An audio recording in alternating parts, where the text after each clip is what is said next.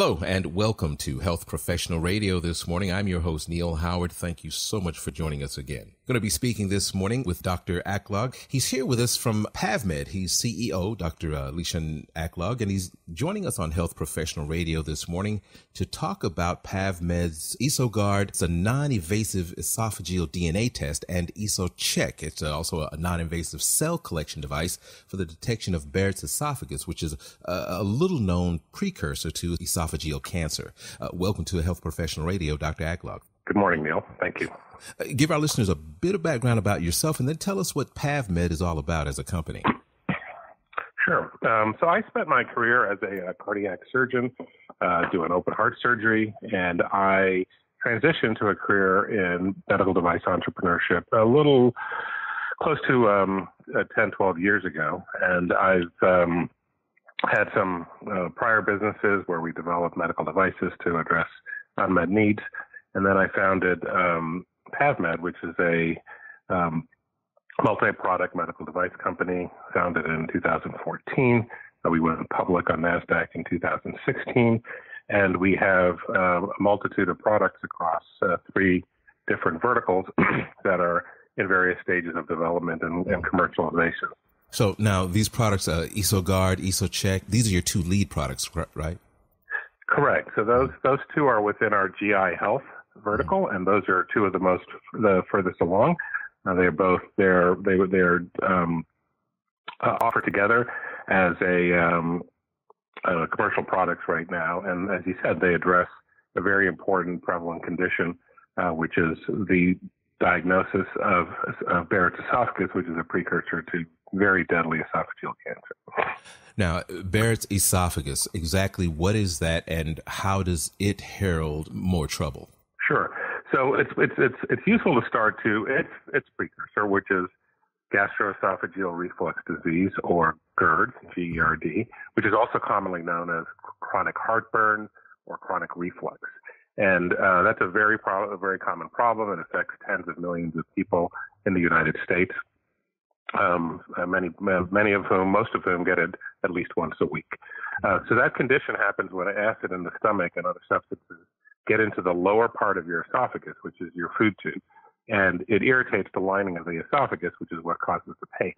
Uh, that can be treated with antacids or drugs like Prilosec and Nexium, mm-hmm. but over time, that exposure can transform the lining of the esophagus uh, into a condition called Barrett's esophagus. Now, Barrett's esophagus is benign; it's not a malignant condition, uh, but it's a telltale sign. It's a warning sign, so you know, canary in the in the in the coal mine that tells you that a process has begun that can lead to cancerous changes. Initially, uh, stages called dysplasia, and then ultimately esophageal cancer, which is a very very deadly condition with uh, uh, 80 to 85 percent, only an 80 to 80, 80 to 85 percent mortality rate over five years. It's one of the deadliest cancers. It's also one of the fastest growing cancers. It's grown sixfold in the last few decades. Now, you say that this is a precursor, something that says the process has started that may develop into esophageal uh, esophageal cancer. Uh, does age or time of diagnosis play a part, or if it's diagnosed, say, in someone in their 20s, is it something that may or may not turn into cancer?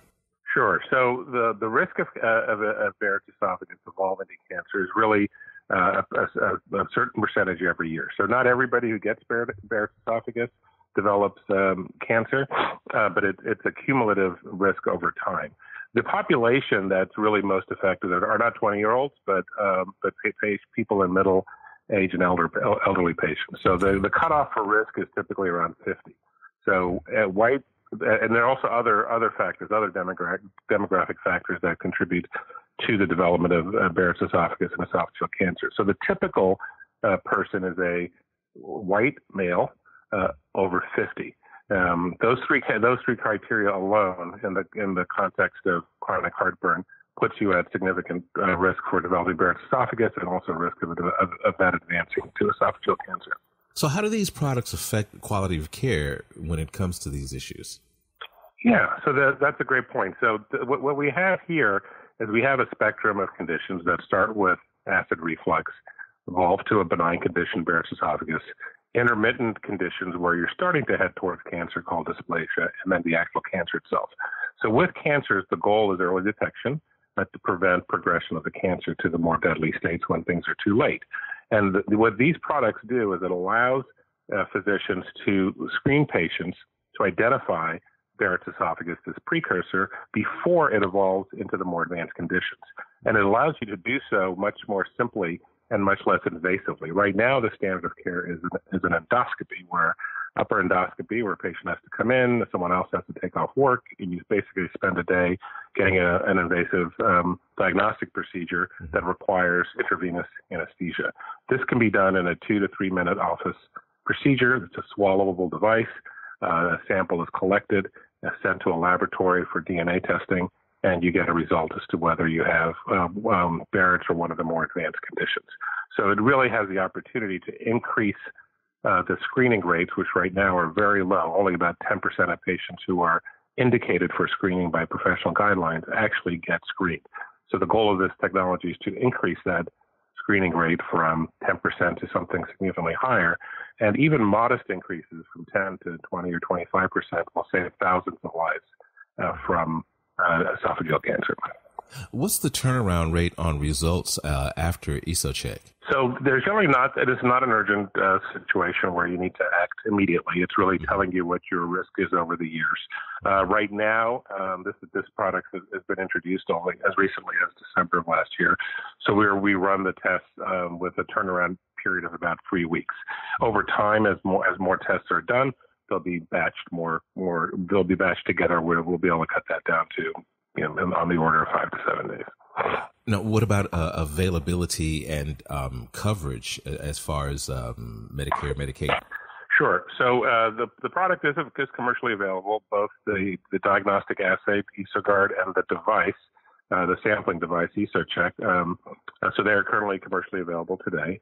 Um, we are in the process, in the late stages actually, of uh, working through the CMS reimbursement process for diagnostic assays and we expect to get um, to get a formal uh, pricing and um, reimbursement codes. Uh, we have we actually have a code. We're looking to get reimbursement and coverage decisions uh, hopefully by the end of this year.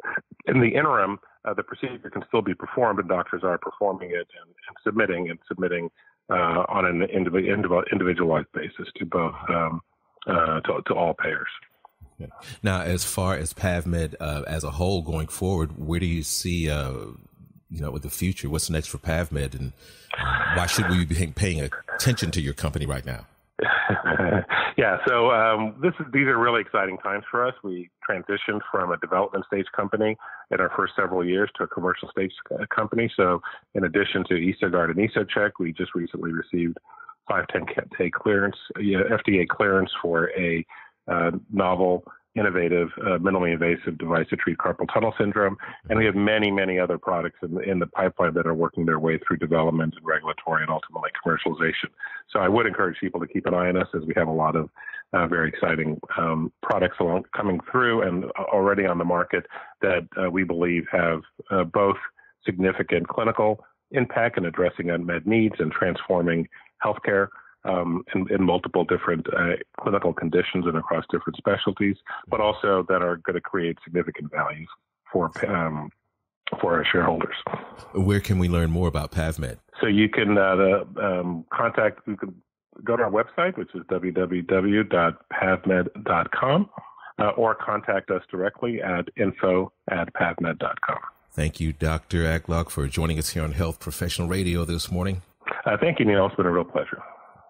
You've been listening to Health Professional Radio. I'm your host, Neil Howard. Audio copies of this program are available at hpr.fm and healthprofessionalradio.com.au. You can also subscribe to the podcast on iTunes, listen in, download it SoundCloud, and be sure and subscribe to our YouTube channel at youtube.com, Health Professional Radio.